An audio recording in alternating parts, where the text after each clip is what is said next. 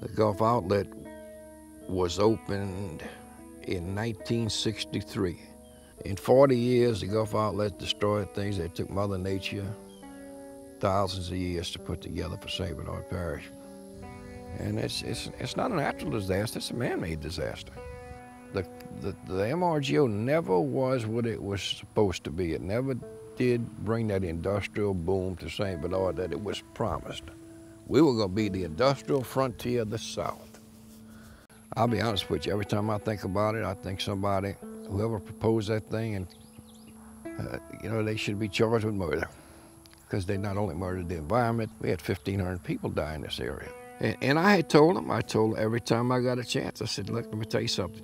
One of these days we're gonna get devastated. It's a shame, but it happened. It was just a matter of time, you know, that's, we didn't have the, the, the, good levee system we should have had. We had uh, inferior levees and, but the, the, the big issue, this all started with the construction of the Mississippi River Gulf Outlet. The best thing that happened to us so far that has come out of this disaster is the fact that the Gulf Outlet has been closed at the Loutre Ridge.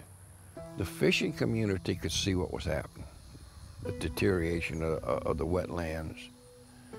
And the, uh, the hunters, I mean, they all, they all could see it's beginning to deteriorate. And uh, when you see everything starting to disappear that, that you were involved in and that you enjoyed, I mean, it's, it's terrible.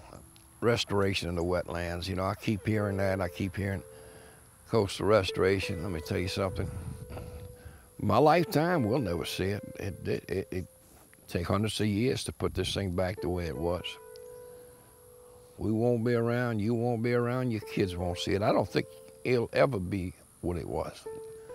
It, would, it were cypress trees that were probably five, six, seven hundred years old, probably more. And and those were our storm barrier at the time. You know, you, you could. I remember the '47 hurricane. You could hear the water coming through the trees. You know, and the number one project that should be started is the planting of cypress trees. You'll never see a cypress tree uprooted. You you will you will not unless you it's in a tornado. And then you you could you may see one split at the top, but you'll never see one broke all the way down.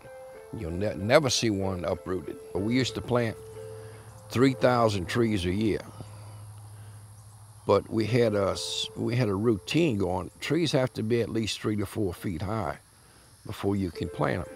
And when you plant trees, you plant them in the fall, and if you plant, plant a seedling, by the time the summer hits and the grass starts growing, it overcomes them.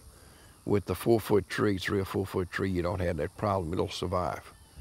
And that's all you want it to survive is the first. If it makes the first year, then it then it'll make it.